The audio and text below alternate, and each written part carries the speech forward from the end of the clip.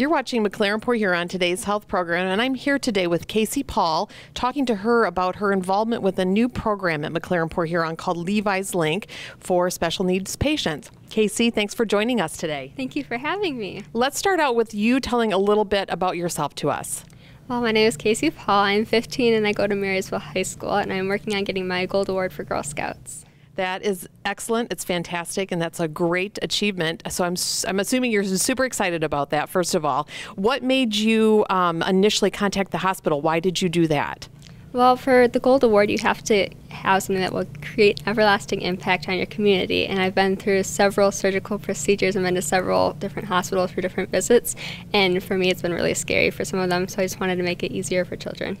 What, um, so uh, since you contacted the hospital, where have you gone with the program and your project that's affecting it?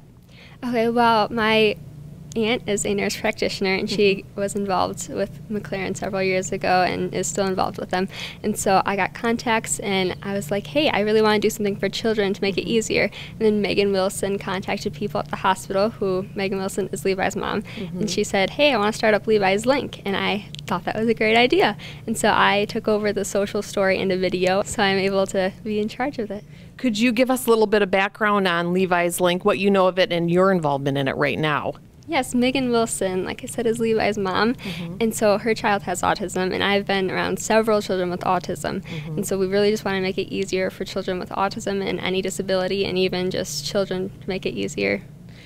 So when the children are coming in for surgical procedures, um, this is what you're doing. Is is your part of the project is helping them ease into that? Is that what it is? Yes, I'm in charge of making a social book, a social story, and so it has step by step. I made a script, I made a video script, and I'm taking pictures too, and we all put it in a book. So it'll be step by step on how the procedure is going to go, what's going to happen, so that the kids will come and know exactly what's going to happen. So this is a book that will be given to them prior to their surgery, correct? Yes, and then it'll be online too. Okay, that's very exciting. So what, um, in your experience and, and what you've done so far with the project, what is something you're taking away from that, or what have you learned? What has been a big impact on you?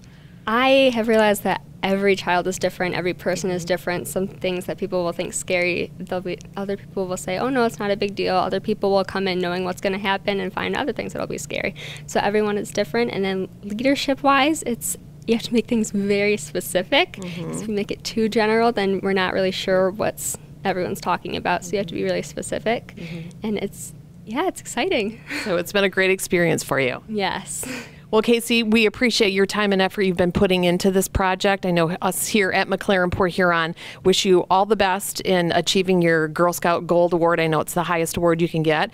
And um, we, we just wish you all the luck and the best in your future endeavors. Thank you.